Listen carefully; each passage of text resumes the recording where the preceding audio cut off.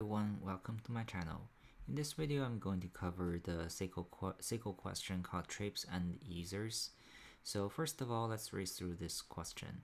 So first of all, we have the trips table. It has six columns, ID, client, driver, city, ID, status, request at, which has a date type. And also we have the user table, the user ID, whether it is banned, and the corresponding row. So the role is whether it is client, driver, or partner, something like that. So it asks us to write a SQL query to find the cancellation rate of the request with unbanned users. Each day between um, uh, October the 1st uh, to October the 3rd within 2013. So the cancellation rate is computed by dividing the number of the cancelled requests with unbanned users by the total number of the requests with unbanned users on that day. So um, return result is in any order, but it should be rounded to two decimal points. So the query result is something like this, uh, as you can see. So first of all, um, I think we are pretty much there understanding the question. So let's just read, read through the query. So first of all, I define a temporary view and band client. So essentially, it's just uh, saying uh, the row is client and also it is not banned. And then I have another temporary which is unband driver. So essentially, it is uh, has a status as the banned is no and also the row is driver. So just remember we have unband client and unband driver here we are just going to use later on. And then we have the total uh, like we have like the unband trips. So the unbound trips is grouped by the trips the, the status. So the trip status can be anywhere like completed, cancelled by driver, uh, cancelled by uh, client, and also the request at, which is the date of the of the trip. So we have this unbound trip defined having three columns: the status of the trip, uh, how and the corresponding uh, the corresponding date of the of the trip.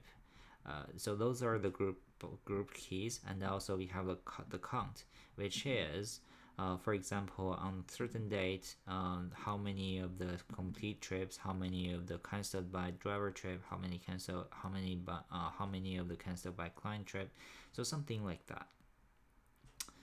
So um, uh, let's see. Uh, so and also it's worth to mention that I uh, do an inner join uh, to filter the banned um, the trips uh, initiated by banned client or banned driver.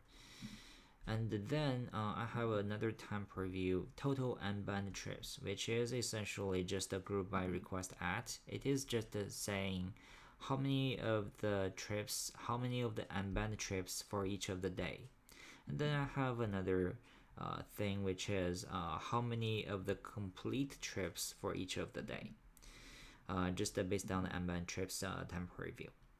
And then uh, the then we what, what we what we do is uh, we are just going to do a left join between the total unbanned trips with the complete unbanned trips.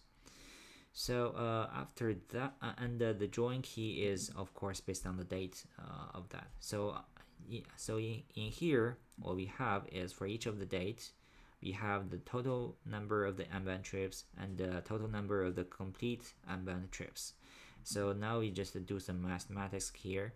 So if the complete trip is like uh, something none, then we are just going to give it a zero. And then we round it to like a two uh, of the decimals. And then we have the corresponding column as cancel cancellation rate. And we have the request at as a day.